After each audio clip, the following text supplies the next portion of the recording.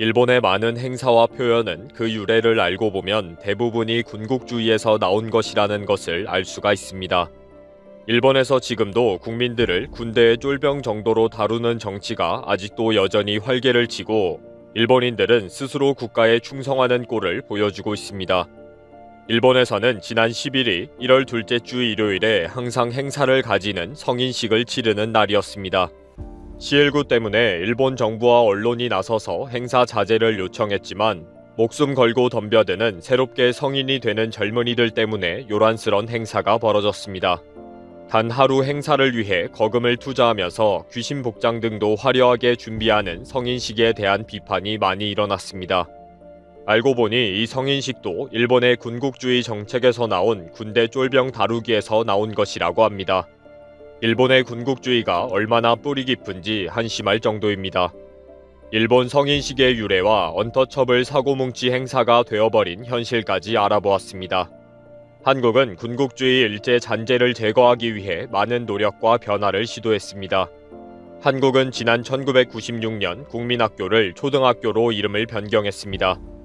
일제감정기 때 소학교를 국민학교로 부르라는 일왕의 칙령이 내려지고 국민학교 학생들은 1941년 태평양 전쟁에 동원되었습니다.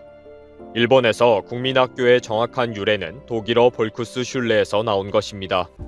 일본 제국이 나치 독일과 긴밀한 관계를 맺으면서 독일의 제도를 도입하는 과정에서 채택된 표현입니다. 나치 독일의 제국주의 교육 사상이 방영된 산물 중 하나가 볼쿠스 슐레 국민학교입니다. 그리고 이제는 유치원을 유아학교로 변경하기로 합니다. 유치원도 당시 독일의 유아 교육기관인 킨더가든을 일본식으로 번역해 가르텐, 즉 정원이 됐고 여기서 유치원의 원자를 따온 것입니다. 우리나라의 첫 번째 유치원인 부산 사립유치원은 지난 1897년 일본인 자녀를 위해 세워진 것입니다. 그동안 많은 논쟁과 협의 끝에 결국 유아학교로 변경하기로 한 것입니다. 한국은 이렇게 일제 잔재를 하나씩 제거해 나가고 있는데 일본은 군국주의 표현과 행사들이 아직도 넘쳐나고 있습니다. 일본의 성인식도 마찬가지입니다. 1946년 일본이 2차 세계대전에 패배한 후에 사이타마현 와라바시에서 기가 죽은 청년들을 격려하기 위해 처음으로 청년제가 열리게 됩니다. 이것을 계기로 전국적으로 청년 기살리기 행사로 확대가 되고 1949년부터 1월 15일을 성인의 날 공휴일로까지 지정하게 되었습니다. 그러다가 2000년대에 들어서서 1월 둘째 주 월요일을 성인의 날로 다시 제정하게 됩니다. 이렇게 일본에서 성인식은 지자체와 정부가 앞장서서 격려하고 축하해주는 이벤트 성격이 있다 보니 지금도 성인식 참가 대상자에게는 각 지방자치단체에서 안내문을 보냅니다. 성인식 장소도 지자체에서 결정해서 대대적으로 준비를 합니다. 지자체장은 자기 선거를 위해서라도 유권자인 청년들을 위한 성인식을 경쟁적으로 화려하게 준비하게 되고요. 이런 화려한 행사에 초대를 받아가는 청년들은 역시 화려한 복장으로 준비를 하게 됩니다. 특히 성인식의 복장은 여자는 후리소대, 남자는 하카마를 주로 입습니다. 후리소대는 기모노 중에서 가장 화려한 미혼 여성 복장으로 소매가 긴 것이 특징입니다. 대여를 할 경우에는 10만엔 약 105만원까지 하며 머리 장식과 화장 등까지 하면 최대 50만엔 약 527만원까지 합니다. 남자들은 일본 대학 졸업식에서 흔히 입는 하카마를 주로 입습니다. 가장 화려한 복장을 만드는 곳은 2년 전부터 대금을 선납해 두어야 할 정도이고 막상 성인식이 다가오는데 업체가 폐업을 하고 사라져버리는 사회 문제가 생기기도 합니다. 또 성인식을 마치고 음주 가무와 폭력과 교통 방해 등이 당연하게 벌어지고 있으며 이날은 경찰들도 눈 감아주는 것이 당연하게 자리를 잡습니다. 이러다 보니 더 엄청난 사건들이 날이 갈수록 발생하고 있어서 사회 문제화가 된 지 오래입니다. 행사장에서 시장이나 지사가 연설을 할 때 술병이나 신발을 던지는 사례도 있었고 술집에서 행패를 부리고 경찰관에게 폭력을 행사하는 일도 벌어져서 이제는 폐지해야 한다는 의견까지 나오고 있습니다. 그러나 다음 선거를 생각해야 하는 지자체장은 폐지 결정에 절대 동의를 하지 않다 보니 문제점만 계속 쌓여가고 있습니다. 결국 CL9가 최악의 상황으로 확산되고 있는 일본에서 지난 10일 전국 각지에서 성인식이 화려하게 개최되었습니다. 많은 지자체들이 온라인으로 돌렸지만 일부 지자체는 행사를 강행했습니다. 일부 청년들은 천만 원이 훌쩍 넘는 것으로 추정되는 화려한 복장들을 입고 나와서 큰 주목을 받기도 했습니다. 도쿄도에서는 23개구에서 유일하게 스기나 미구가 성인식을 정식으로 개최했습니다. 개최 장소에 체온계와 소독제를 구비하고 2천여 명의 새 성인들이 모여서 행사를 치루었습니다. 행사를 개최한 구청장은 모두가 중지했지만 나는 개최했다. 나는 약속을 지키는 사람이다. 행사를 마친 후에 술자리는 자제해달라. 바로 집으로 돌아가 달라. 라고 말했습니다. 유권자 청년들을 위해 행사는 개최했지만 C19 확산은 두려운 거죠. C19로 어려운 상황이지만 성인식에 대해서는 계속 유지하면서 정치적으로 이용하려고 하는 것입니다. 성인식의 유래가 전쟁에 패배한 청년들을 격려하기 위한 관제 행사이기 때문에 많은 부작용이 있음에도 쉽게 폐지를 할 수가 없는 것입니다. 특히 아베 정권이 들어서면서 이런 군국주의 교육이 더 활성화를 띈 측면도 있습니다. 아베 정권이 금지된 황국 사상에 기초한 교육에 관한 치거를 다시 활용되고 있는 것을 방치할 정도입니다. 교육 직원은 성스러운 전쟁을 하다가 전사한 영령은 야수군이 신사로 가는 영광을 누린다. 라고 가르친 애국주의 법령을 반성하기 위해 폐지된 것입니다. 그러나 결국 아베는 2006년 12월 교육기본법을 국가에 대한 봉사와 충성을 강요하는 국가주의적 가치를 중시하는 방향으로 개정했습니다. 그리고 아베는 2차 집권 이후 교육기본법을 더욱더 극우적인 방향으로 계속 수정해 나갔습니다. 그리고 급기야 아베 정부는 군국주의 상징의 하나인 교육 치거를 학교에서 학생들에게 가르칠 수 있다는 방침을 확인해 주었습니다. 또 교육 치거 사용에 이어서 학교에서 총검수를 가르칠 수 있도록 교과목에 넣었고요. 학교 교육을 통해 유치원생부터 초중고등학생들을 계속적으로 야스쿠니 신사에 가고 싶어하는 맹목적인 군국주의 인간으로 세뇌시키고 있는 것입니다. 일본의 많은 행사와 정책들이 아직도 황국 신민을 양성하기 위해 국민들을 군사대국 일본의 쫄병으로 만들고 있습니다. 전 세계에 없는 일본의 성인식도 많은 부작용과 문제점을 가지고 있는데도 불구하고 지자체와 일본 정부가 나서서 적극 개최하고 있는 이유이기도 합니다. 단 하루 성인식을 위해 천만 원 가까운 돈을 허비하고 문제를 일으켜도 방관하는 국가가 어디에 있을까요? 오직 군국주의 일본만 가능할 것입니다. 드디어 새해가 밝았습니다. 여러분, 2021년 신축년 심차게 시작하시기 바랍니다. 올해는 도쿄올림픽이 예정되어 있습니다. 원래 작년 7월에 치렀어야 할 올림픽이 한 차례 연기된 것이죠.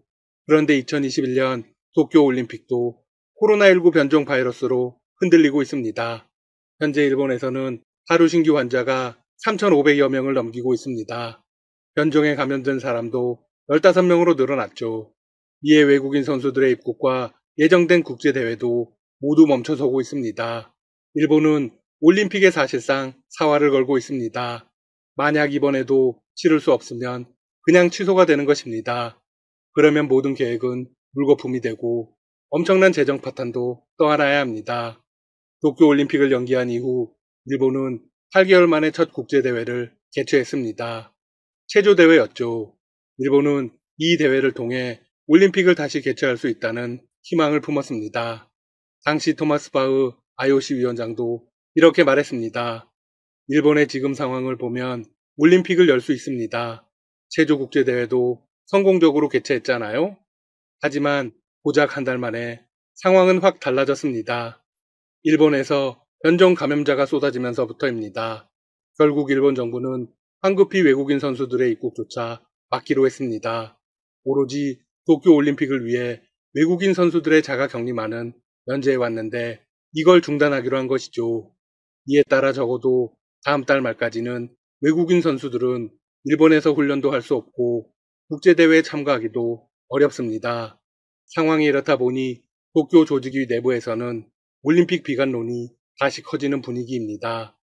대회가 약 200여일 앞으로 다가왔지만 올림픽 예선전이 줄줄이 취소되면서 아직도 절반에 가까운 선수들이 대회 출전 문턱을 넘어서지 못했습니다.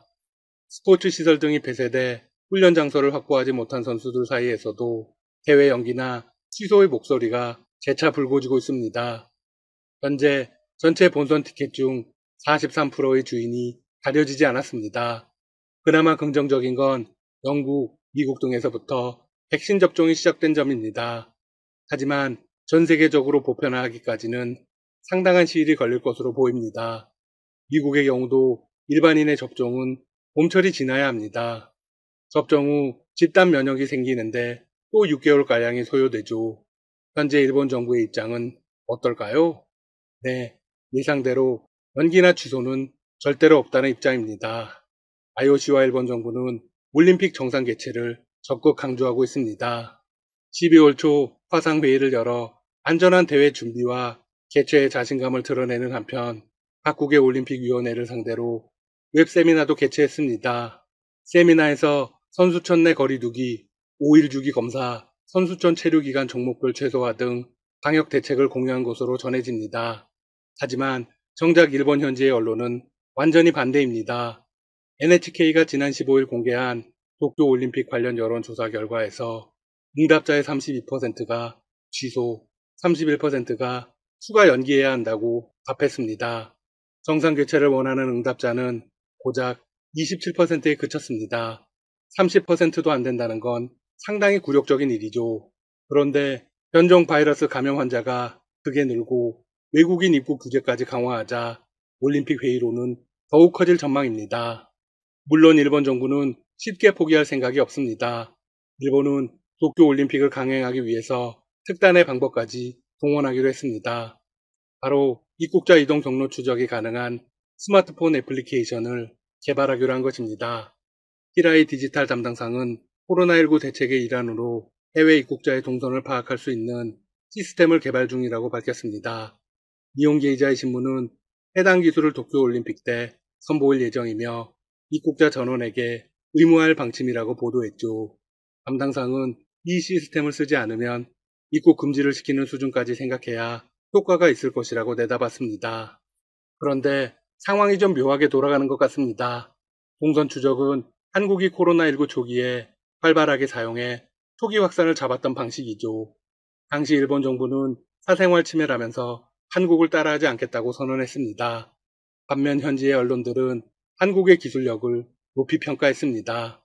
당시 1위 언론 요미우리 신문은 이런 기사를 내보냈습니다. 한국 정부가 힘을 쓰고 있는 것은 감염자 행동 이력의 철저한 추적이다. 확진자의 진술, 휴대전화 위치 정보, 신용카드 사용 기록 등을 활용해 이동 경로를 철저히 밝혀낸다. 진보 성향의 아사히 신문이나 극우 성향의 산케이 신문도 일제히 한국 코로나19 대응을 소개했습니다. 아사히 신문은 한국이 검사, 추적, 치료를 충실하게 한 결과 의료 붕괴를 예방했다고 높이 평가했습니다. 한국을 폄하하기로 유명한 산케이 신문 역시 한국이 대량 검사를 실시하고 확진자의 행적을 철저하게 추적해 코로나19 확산에 제동을 걸었다는 취지의 보도를 내보냈습니다. 그러면서 한국의 진단키트도 언급했습니다. 한국이 진단키트 수출이나 지원을 요구하는 나라가 100개국을 넘었다. 코로나19 확산을 막을 때는 사용하지 않는다더니 도쿄올림픽 강행을 위해서는 하겠다니 아이러니 아닌가요? 국민의 생명보다 올림픽 개최가 더 중요하다는 것이겠죠? 일본의 담당상은 이어서 이런 발언도 서슴치 않았습니다. 외국처럼 일본의 추적 기술도 디지털화시키고 싶다. GPS를 켜달라고 요청할 수밖에 없다. 이런 시국이니 다 용인될 수 있다고 생각한다. 네, 이제 와서 용인될 수 있다고 하네요. 일본 정부는 올림픽 개최 전까지 관련 앱을 개발하고 스마트폰을 통해 입국자 관리에 나설 것으로 보입니다. 현지 언론에 따르면 올림픽 관련 비자와 입장 티켓, 이동 경로 등을 연계하는 기능이 포함될 것으로 알려졌습니다. 한편 스가 일본 총리의 지지율은 광속으로 추락하고 있습니다. 높았던 국민적 인기를 취임 100여일 만에 완벽히 다 까먹었습니다. 역대 총리 중 추락 속도 1위를 기록하며 불명의 기록을 보유하게 되었습니다.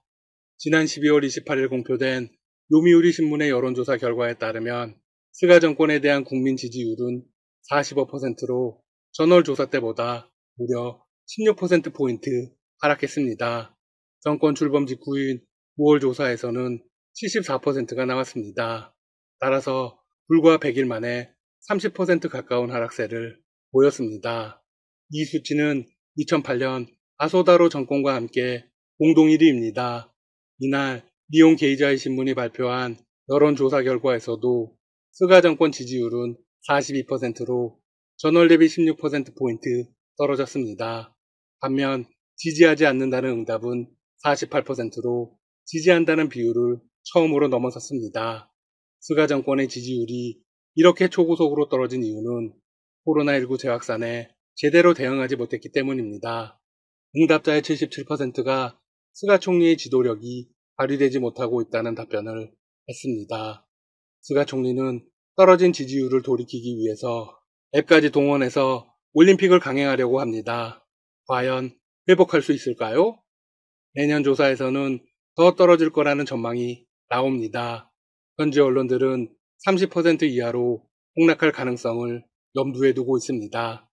지금까지 닥터시사TV였습니다. 여러분 시청해주셔서 감사합니다. 구독과 좋아요 부탁드립니다.